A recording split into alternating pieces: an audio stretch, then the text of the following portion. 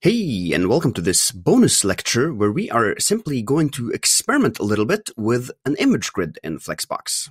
If you've seen my CSS grid course, you'll probably recognize this grid as I've simply cloned one of the screencasts there and changed around on things a little bit. And I actually do recommend you to create image grids in CSS Grid, as that is made for two-dimensional layouts, while Flexbox is mainly one-dimensional. However, you can recreate quite a lot of cool grids in Flexbox as well, so let's just jump into it and play around with it a little bit.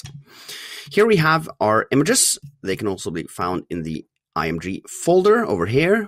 We have the basic setup here. The container just has a display of Flex, and as you can see, that just lines up the images after each other, and there are a bunch of them, and they're way out of the Flexbox container. Because Flexbox won't allow you to wrap any of the items. It'll force everything to be on the same line. So let's first actually scale these images down a little bit.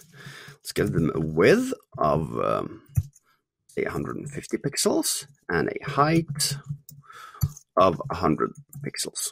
Now that'll change their aspect ratio a little bit, but let's not care about that because it looks kind of nice.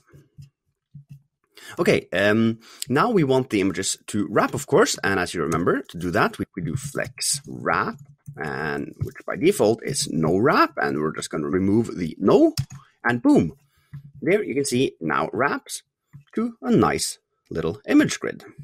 However, as you can see at this point, they're skewed over to the left-hand side. So one thing we can do to make it a little bit nicer is to do justify content and set that to center. That'll center it. Looks pretty decent. We can also try these around, for example. That'll add some space around the images. Though here you can see the problem. When Flexbox only can fill three items on the last row, the space around the images will be different than these, of course, resulting in this funny looking grid-ish layout here, but with a different type of grid down here. There's not an easy way to have these three images over at the left-hand side, for example, so that only the last spot here will be open. When you do space around, it'll do space around on each of the rows separately. If we did flex start wouldn't center it like it did previously. Now we have much more space here and here, even though we have this more grid-ish layout. Okay, so what if we want these images here to be flexible in their width? Now we've just hard-coded their width and height, though what we can do instead is actually use percentages here. Let's do 100% and 100%, and we'll also do object fit, cover. Move this justify content, and now it looks really broken. Just hang on a minute. What we'll also do is we'll target the items themselves, and we'll give them a flex value of flex grow 1, flex shrink 1, and a base width, for example, 150 pixels, which we previously had. Now you can see they scale up and down and also shuffle around when needed. So here they're base width 150 pixels, but they're allowed to grow and shrink.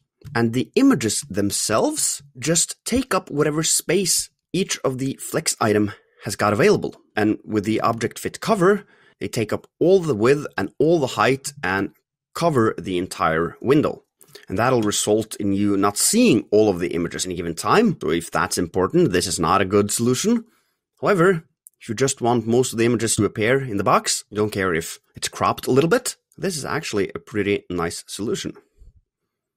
So, however, Flexbox lays out as many items as it can on each of the rows, doesn't evenly distribute it throughout rows. So when it gets to this point where we have 10 images here and our 11th image, which is the last one, down here, it'll be placed on a single row, meaning it'll be five times as wide as the others which isn't optimal.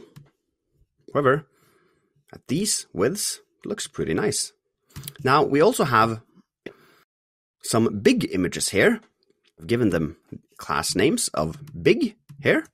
And what I want to try out is actually do container and then target those big ones.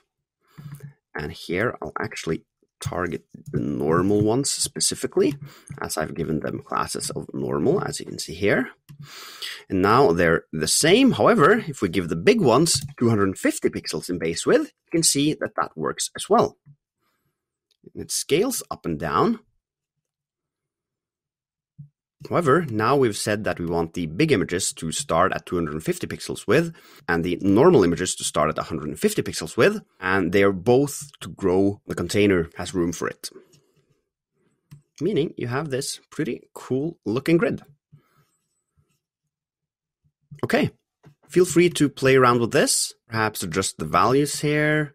You can drag and drop some more images in here, maybe some vertical and horizontal images, and try to adjust their flex bases. Basically, do whatever you want.